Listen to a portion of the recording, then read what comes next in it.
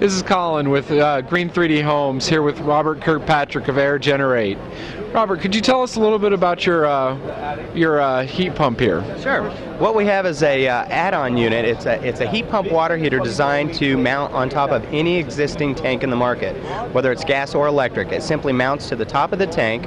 You insert our copper line down into the tank, plug it into a 110 outlet, and we completely take over the heating of the water heater at that point. So you would turn the gas off or turn the electric off to that tank, but we do it up to three times more efficiently. We have an energy factor of 2.11.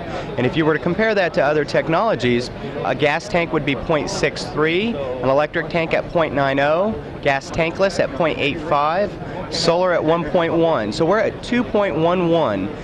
And as you can tell, 2.11 is three times more efficient than that gas tank that you had in there. A byproduct of what we do by heating that tank more efficiently is we're producing half a ton of free air conditioning at the same time.